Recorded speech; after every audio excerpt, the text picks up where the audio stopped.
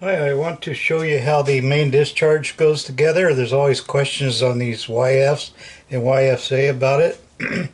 so on this one, uh, it uses a check ball first. Come here, check ball. And it goes in the hole. And then the check weight goes in there. So the check weight holds it down um, so that when you're not accelerating, uh, it plugs it up so gas doesn't come out here, okay? And then the weight of the gas and the pressure of the gas lifts it up when you press on the gas, okay? That's a lot of gases. All right. And it, you see it's covered by the gasket right here. and you can see there's about, oh, 16th to an 8th inch uh, clearance here, so it has that much room to move up. That's all it needs. Uh, check balls are smaller than 8 inch. I think this one's probably 3 16 something like that.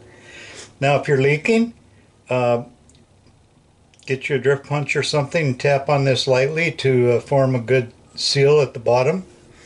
Not too hard to get the check ball stuck if you do it too hard.